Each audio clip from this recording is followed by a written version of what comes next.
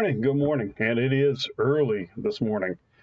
Uh, greetings to you. We are recording. Is it live or is it Memorex? Well, now you know. Uh, I'm book studying Shawano today, so I'm driving about the time that you would normally be watching this. So I got up early this morning just for you, just to record this for you, for you. So uh, here we are on February 7th, 2003.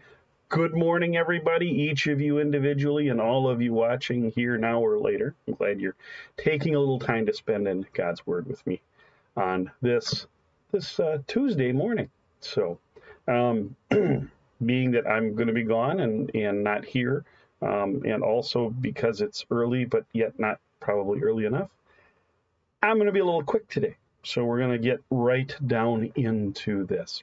Um, just for notoriety, we did get a little snow cover uh, here last night. It was supposed to be sleet, but it, it really was snow uh, that came down. It was kind of wet stuff and not a lot of it, but just enough to cover the ground and be generally annoying. Um, and the temperatures are supposed to be in the in the 30s today, mid 30s. Um, right now, weather service here at, at uh, well, I've it's um, what is it? It's 20 after seven right now. Zan's having breakfast, getting ready to go to school. Weather service is saying 33 degrees uh, here in Irma this morning. So let's go ahead and get into this. If you have the Lutheran Service Book, page 295, Daily Prayer for individuals and families. I've got my treasury right here. And we'll go ahead, as we do each morning, as we begin our day in our Lord's Word. In the name of the Father, and of the Son, and of the Holy Spirit. Amen. In the morning, O Lord, you hear my voice.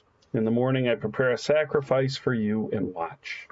My mouth is filled with your praise and with your glory all the day. O Lord, open my lips, and my mouth will declare your praise. Glory be to the Father, and to the Son, and to the Holy Spirit, as it was in the beginning, is now, and will be forever. Amen. Our psalm today, Psalm 4, all of it, verse 8, 1 through 8 of Psalm number 4. Blah. Excuse me, morning, morning. Answer me when I call, O God of my righteousness. You have given me relief when I was in distress. Be gracious to me and hear my prayer. O men, how long shall my honor be turned into shame? How long will you love vain words and seek after lies? But know that the Lord has set apart the godly for himself. The Lord hears when I call to him. Be angry and do not sin. Ponder in your hearts on your beds and be silent. Offer right sacrifices and put your trust in the Lord. There are many who say, Who will show us some good? Lift up the light of your face upon us, O Lord. You have put more joy in my heart than they have when their grain and wine abound. In peace I will both lie down and sleep, for you alone, O Lord, make me dwell in safety. Glory be to the Father, and to the Son, and to the Holy Spirit, as it was in the beginning, is now, and will be forever. Amen. I'm going to keep us moving this morning. We're going to go right into our reading from Job, continuing the book of Job here, chapter 4 now, verse 1 through 21. And um, Job's friend Eliphaz is going to start speaking now. And there are three friends that he has, and they all make accusations towards uh, works and not faith. I'm not sure exactly what we're going to hear here, but keep that in mind. So, Job chapter 4, verse 1 through 21. Then Eliphaz the Temanite answered and said, If one ventures a word with you, will you be impatient? Yet who can keep from speaking? Behold, you have instructed many, and you have strengthened the weak hands. Your words have upheld him who is stumbling, and you have made him made firm the feeble knees. But now it has come to you, and you are impatient. It touches you, and you are dismayed. Is not your fear of God your confidence, and the integrity of your ways your hope? Remember who that who remember who that was innocent ever perished? Or where were the upright cut off? As I have seen, those who plow iniquity and sow trouble reap the same. By the breath of God they perish, and by the blast of his anger they are consumed. The roar of the lion and the voice of the fierce lion, the teeth of the young lions are broken. The strong lion perishes for lack of prey, and the cubs of the lioness are scattered. Now a word has brought to me stealthily, or a word was brought to me stealthily. My ear received the whisper of it. Amid thoughts from visions of the night, when deep sleep falls on men, dread came upon me, and trembling, which made all my bones shake. A spirit glided past my face, the hair of my flesh stood up. It stood still, but I could not discern its appearance. A form was before my eyes, there was silence. Then I heard a voice. Can mortal man be in, right, in the right before God? Can a man be pure before his Maker? Even his servants he puts no, in, even in his servants he puts no trust, and his angels he charges with error. How much more those who dwell in the houses of clay, whose foundation is in the dust, who are crushed like the moth. Between morning and evening they are beaten to pieces. They perish forever without anyone regarding it. Is not their tent cord plucked up within them? Do they not die, and that without wisdom? This is the word of the Lord. Thanks be to God. So Eliphaz is beginning an accusation against against Job. uh, he begins by, well, if I if I you know if one ventures a word with you, will you be paid? Can I say something here? Can I? Uh, will you listen to me if I speak? Yet, how can I not speak? And he goes on to tell Job what a wonderful, faithful man he's been, and how he's built up others and he's given them strength. The, the, his confidence in the Lord has been has been great, and and people have seen that, and they have grown in faith with the help of him. But now, now the troubles of man have come upon him. He's suffering. Um, and you know, it's never the righteous who suffer, right? Um, the, the, upright are never cut off. Um, it is those who it is those who are dealing with inequity who suffer. Um, as we have seen, as I have seen, those who plow iniquity sow trouble and reap the same. Right? And by the breath of God they perish, and with the blast of anger they are consumed. He's trying to say, oh, well, you who were so high and mighty and who spoke so well when things were good, now that they're bad, what have you done that you become, that, that the suffering has come upon you? And that's where they're going, right? You must have done something that God is punishing you in this way, right? Now, how many people today think that way? How many people today think think that, oh, well, I, he, um, God is punishing me personally because I did something uh, wrong, and and um, now I'm now I'm unworthy, and, and and how many of those people who who hear that kind of thing then fall away from faith, begin to doubt, God doesn't exist anyway, because it's better in a human thinking that God not exist and suffering is just the way of the world, than God exist and He allow suffering to come upon us. But He does. He does it to test our faith, to see if we will remain faithful. He didn't make Israel walk 40 years in the desert simply because they had uh, done what he said not to.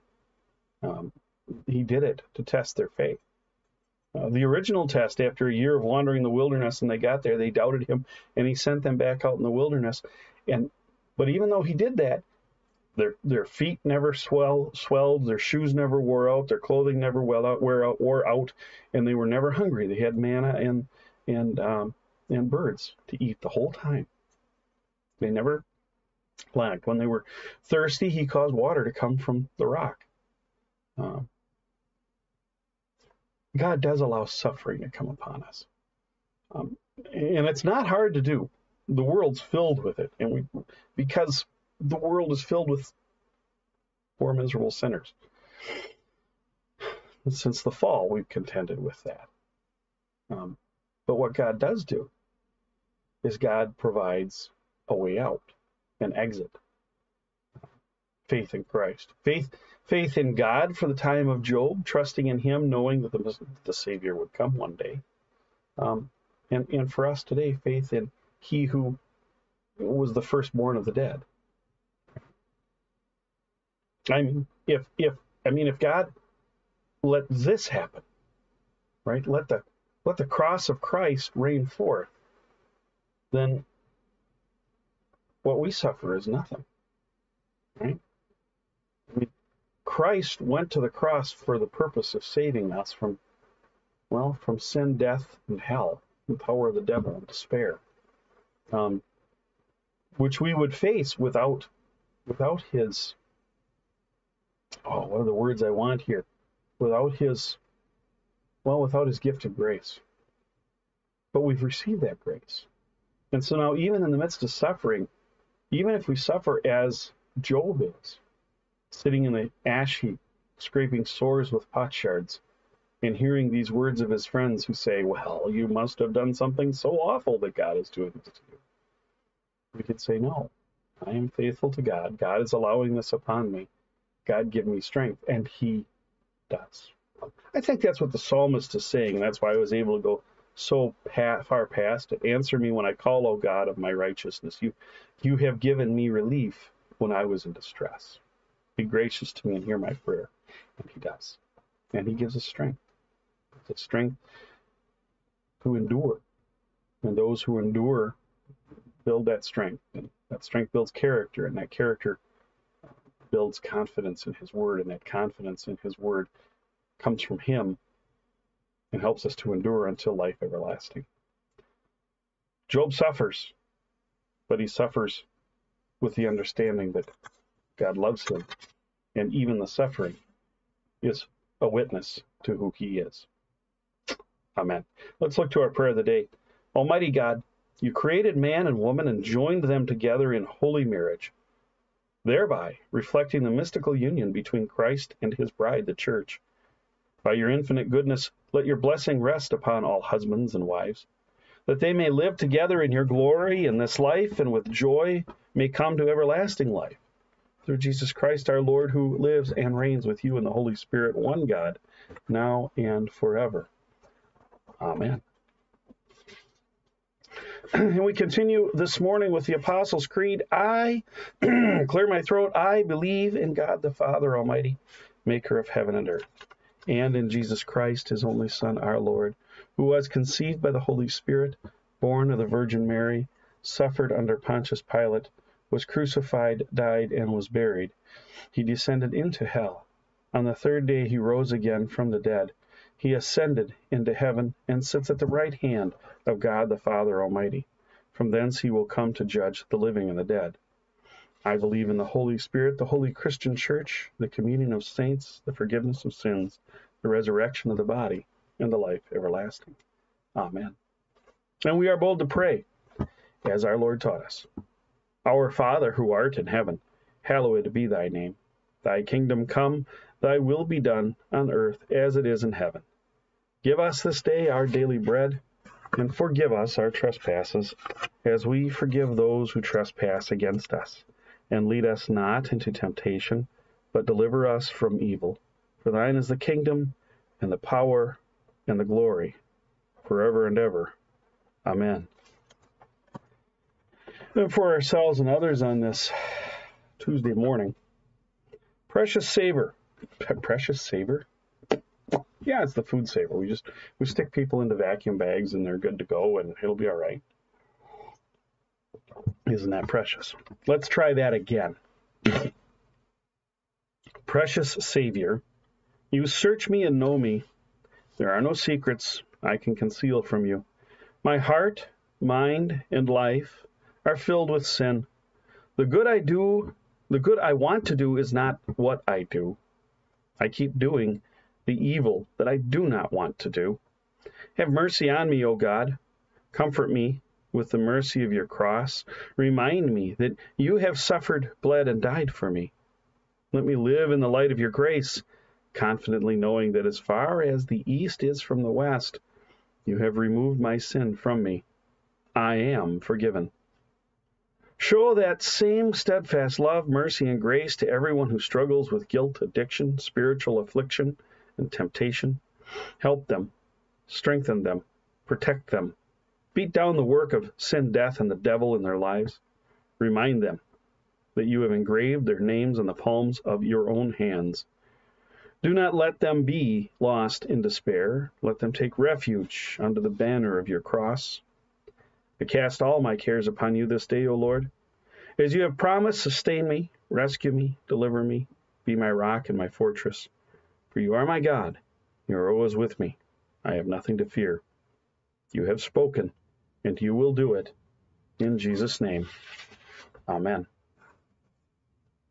Lord God, Heavenly Father, we ask your blessing and comfort upon those who are suffering as those in, in the nations to the east of Turkey and Syria still recover from the from the from the earthquakes, and as those who have suffered loss mourn the death of those who who were well who have died, uh, near four thousand now, O Lord, we ask your mercy upon them. Point them towards your Son and the promise that He gives of everlasting life. If they be outside of the faith and the church, then use this opportunity to show them who you are and grant them the light that comes only from you. Be especially with those two who have asked for our prayers Pat, Lois, Anne, Brianne, Rose, Bob, Mike, Megan, Dan, Ezra, Neely, Jeremy, Ashley, John, Renee, Shazad, and all those who call upon your most holy name. Grant them strength for each day of their lives and comfort in their illness, but always assure them of the promise of life everlasting that comes from your Son by your grace and mercy alone. Amen. Almighty God, merciful Father, who created and completed all things, on this day when the work of our calling begins anew, we implore you to, you to create its beginning, direct its continuance, and bless its end, that our doings may be preserved from sin, our life sanctified, and our work this day be well pleasing to you, through Jesus Christ our Lord. Amen. I thank you, my heavenly Father, through Jesus Christ, your dear Son, that you have kept me this night from all harm and danger. I pray that you would keep me this day also from sin and every evil, that all my doings in life may please you. For into your hands I commend myself, my body and soul, and all things. Let your holy angel be with me, that the evil foe may have no power over me. Amen. Let us bless the Lord. Thanks be to God. Well, my friends, that brings our recorded devotions for this this uh, Tuesday, February 7th, to a close. Sorry I couldn't be with you live today, but I'll be back here tomorrow, Wednesday morning, with you. God's peace be with you. Um, Remember, in the midst of suffering, pray and call upon Him who has promised to hear your prayer. God's peace be with you.